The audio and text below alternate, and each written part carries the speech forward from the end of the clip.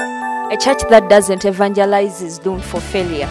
Today's service, God spoke to our hearts, and many had encounters with the Holy Spirit. But mostly, we were reminded of our sole purpose here on earth to preach the gospel to all people. In case you missed today's service, here the take homes. okubuulira enjiri. Enjiri eyo esumulula ebisibiddwa.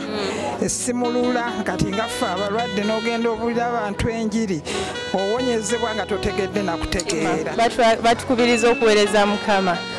Ne batugamba nti bw'otoweereza mukama ojja kuweereza abalabe bo.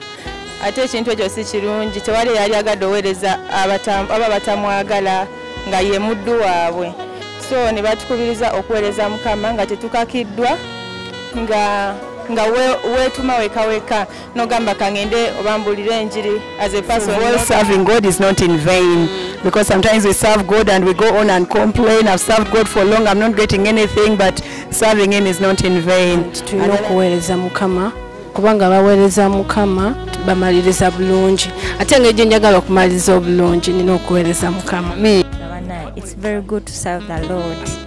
Oweereza katonda akwawula. Hmm? mere katonda akuwa ekitiibwa. Mukama omulungi yeebazibwe nze kyesinza okwetaaga okuyiga and i love so much to serve the lord.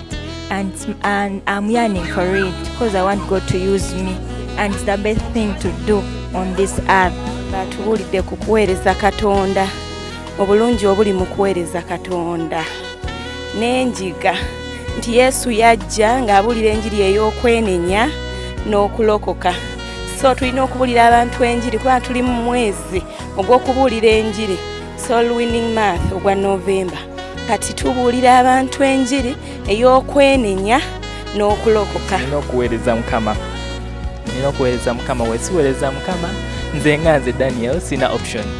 Nina okuweereza mukama kubanga kuva ku dadi wange ne jjajja wange eyo yona line bazze nga baweereza mukama. So essaawa eno wesiweereza mukama zinsanze.